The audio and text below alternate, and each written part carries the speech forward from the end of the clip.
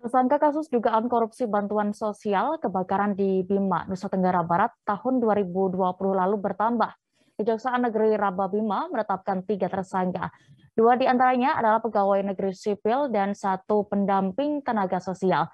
Bagaimana kasus ini bermula dan juga kabar terkininya akan dilaporkan rekan reporter dari Tribun Lombok ada Atina. Silakan dengan laporan Anda.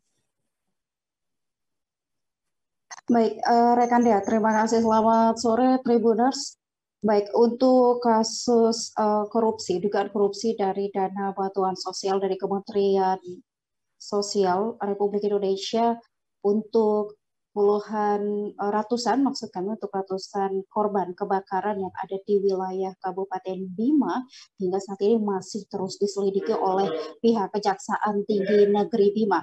Hingga saat ini uh, sudah ada tiga tersangka yang sudah diawali penetapan tersangka pada Januari 2021 lalu yang diawali oleh pendamping dari uh, penerima bantuan yang diduga melakukan pemotongan dana bantuan ini setelah pencairan dilakukan di tingkat bank.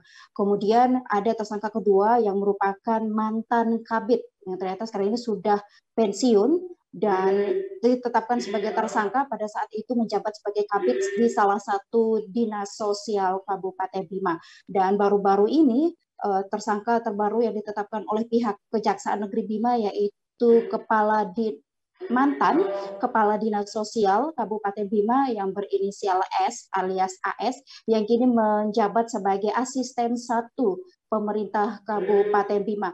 Hingga saat ini yang bersangkutan uh, yang menjabat sebagai asisten satu ini masih aktif bekerja uh, karena pihak pemerintah kabupaten yang baru saja kami konfirmasi mengatakan hingga saat ini belum menerima salinan penetapan tersangka atas AS uh, sehingga belum ada tindakan yang bisa dilakukan oleh pemerintah baik itu pencopotan jabatan maupun pemberhentian dan pihak pemerintah Kabupaten Bima juga menyampaikan bahwa pemberhentian dari AS dari jabatannya jika sudah mendapatkan salinan dan akan dipecat sebagai ASN jika nanti sudah ada putusan inkrah dari pengadilan uh, jika ia terbukti bersalah.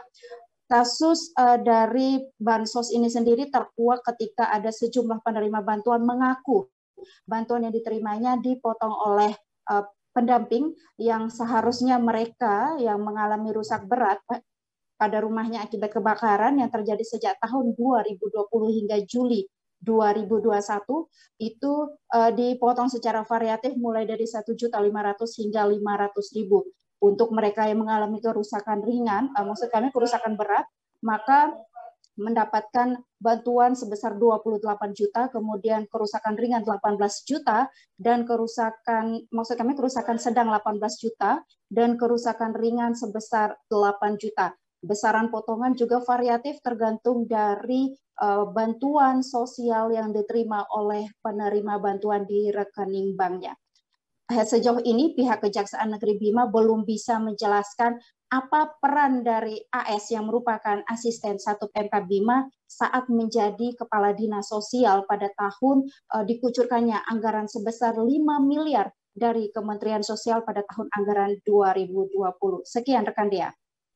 Baik, terima kasih rekan Athena melaporkan dari Bima, Nusa Tenggara Barat.